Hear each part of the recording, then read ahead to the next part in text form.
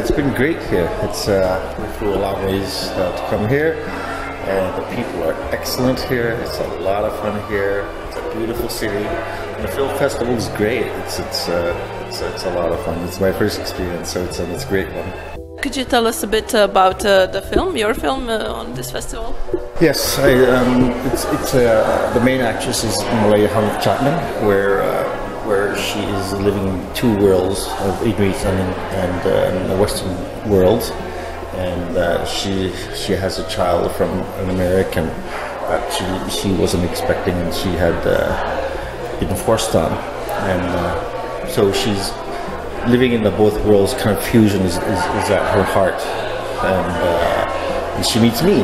As, as is uh, an old gentleman that uh, I'm living my traditional way of life. And uh, she, she, she does come and live with me during the film and, and experiences that both worlds of life. So and one of the more traditional ways in the movie where her her, her other ways of life the Western culture is taking over also. So it's, it's a battle amongst two cultures.